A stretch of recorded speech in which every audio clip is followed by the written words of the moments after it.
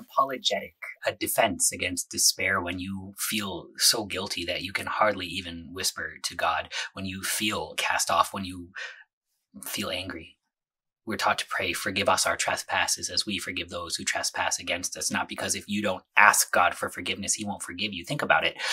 Jesus died on the cross like 2,000 years before you ever thought about sinning, let alone thought about asking for forgiveness for it. Jesus died for you, and because Jesus died, your sins are forgiven. Not because you asked, but because Jesus died for you, your sins are forgiven. We pray, forgive us our trespasses as a comfort, a reminder that our sins are forgiven, that when guilt wells up, that when we feel like we are unapproachable, that when we feel like we cannot approach God, we can remember that he approached us. He came into this world to bear your sin, my sin, all sin upon the cross, and you are forgiven. And when you are so angry with somebody else that you don't know how to forgive them, you can look to the very same cross for the very same forgiveness. Because forgiveness, all forgiveness comes from the cross, not because you asked, not because you gave, but because Jesus died. And so when I feel guilty, I can pray, forgive us our trespasses, and remember, he died. He did.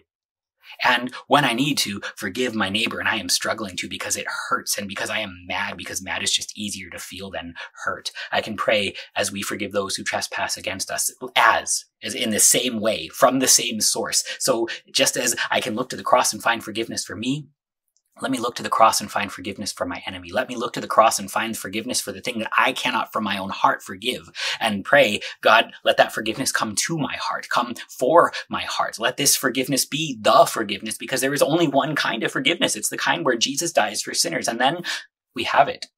All of us even the ones where I struggle to, to hold on to and struggle to let go of, Jesus would pry those sins from my hands, from my heart, and take them to the cross and bleed and die there. We, as a, as a defense against despair, are taught to pray, forgive us our trespasses as we forgive those who trespass against us, because we know that we have a God who lovingly forgives us, not because we deserve it, not because we have earned it, not because we have even asked for it, but because, because he loves us, even when we struggle to love ourselves and each other.